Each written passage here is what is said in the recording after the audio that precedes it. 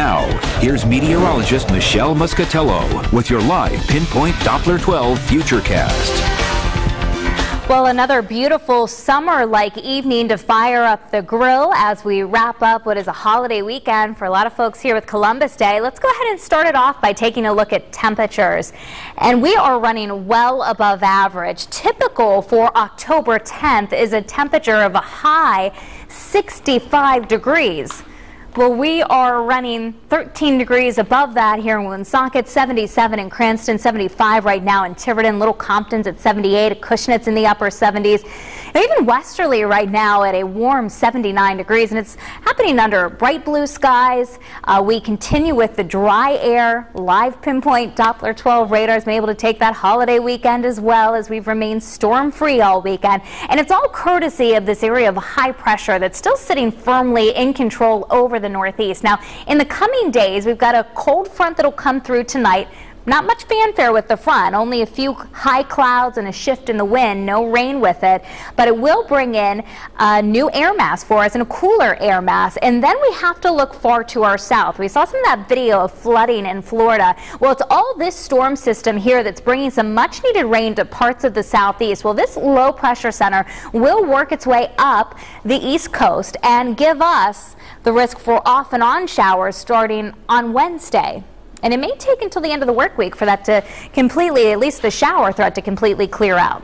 For this afternoon, we've got temperatures around 81 here at 1 o'clock, 3 o'clock in the afternoon, 83, and then at 5 in the evening, 79. And just like what we've seen happen last couple of nights, the temperatures will fall quickly after sunset, and it's another comfortable night for sleeping. But about 82 in Central Falls this afternoon, 83 downtown, the east side at 83.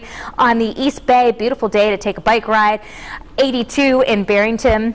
Garden City at 83, TF Green Airport in the lower 80s, and even the coast because of a northwest wind, that land breeze, we're in the upper 70s to around 80 at the beaches, 82 in Wickford, 83 in Coventry, low humidity and sunshine, the Scituate Art Festival wrapping up today, a beautiful day for that. Similar uh, conditions up in Woonsocket at the Autumn Fest, Johnston's at about 83, and we're going to keep the sunshine this afternoon in New Bedford and Fall River, low 80s, Middletown, right around 80 degrees. On the bay, sunshine and uh, no problems visibility wise. Winds are light, waves at one foot or less. The high tides at 7:18 in the morning, low tide at uh, just coming up here about 1 o'clock in the afternoon.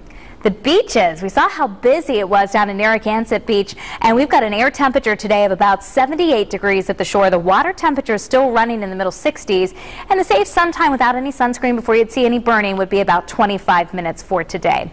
For the evening and nighttime hours, again, temperatures do cool off. So we hit our high of 83. By 8 o'clock in the evening, we're back down to 70. By midnight, 61. And then late tonight, temperatures should fall into the mid and upper 50s. We may see some spots drop off into the upper 40s to lower 50s. And we'll just see some high clouds, but should be able to see those moonlit skies. We've got the uh, full harvest moon these next couple of days, or hunter's moon also can be called in October. Your seven-day futurecast for you. So we do see a cool down. It starts to tomorrow, temperatures hit a high of about 70 degrees in the afternoon, still under mainly sunny skies. And then even cooler for Wednesday, increasing clouds, the threat of a few showers mainly later in the day. We'll have to dodge some showers on Thursday, and it should wrap up through the first half of the day on Friday. The weekend right now for next weekend looking certainly more like the season.